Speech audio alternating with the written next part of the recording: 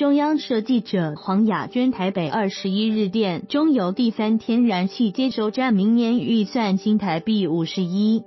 五亿元，因为计划变更未现的回避方案，中油同意减列四十亿元预算。立委认为第三天然气接收站姿势体大，预算保留，要求中油下周进行专案报告。立法院经济委员会今天审查一零七年度中油公司预算处理，由经济部政务次长龚明鑫、常务次长王美花以及中油董事长戴谦等相关人员出席预算协商至第三。三天然气接收站时，中油明年预算编列五十一亿五千六百二十九万元。根据民进党籍立法委员高志鹏、时代力量立法委员徐永明、国民党籍立法委员王惠美、张立善分别提案减列及冻结预算。中油副总经理方正仁表示，现在的第三天然气接收站提出的方案。将在线的回避早交，缩小实际开发面积，只在有人工构造物埋设的地方，不会新增填海造陆面积。方正人表示，若以现在开发方式，预算金额会做调整，不过目前还没有做计划变更，预期金额变化不会太大。明年预算同意立法委员高志鹏提案减列四十亿元。中油总经理刘胜熙指出，预算调整是因为分年执行。现行方案回避早教多杯孔珊瑚，所以整体方案有些改变，开发及填海造陆面积缩小。这个计划改变会称为回避方案。中油因应相关变动，已经委托专。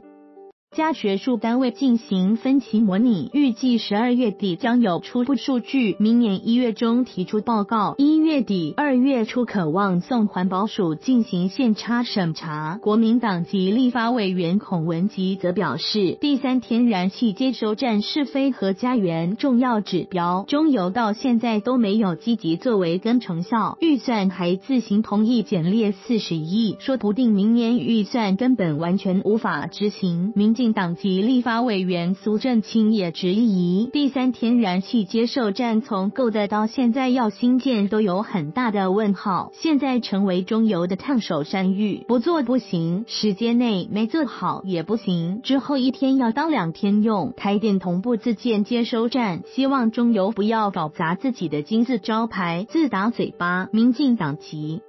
立委邱毅英表示，第三天然气接受站姿势体大，中油立刻同意减列四十亿预算，但是后续作为如何更改后的计划环评线差要如何进行？针对整体计划，希望中油提出专案报告，进行详细完整的说明。王美花说，因应台湾天然气不足的问题，经济部则成中油接下新建第三天然气接收站的任务。目前中油回应民意怀诉求已经做了计划修改，未来将送环保署进行环差审查，没有说不盖，但确实会稍微延后。经济部会紧盯计划，按照时程执行。经在场立法委员讨论后，认为应要求中油公司针对第三天然气接收站计划变更内容，说明简列预算金额如何评估。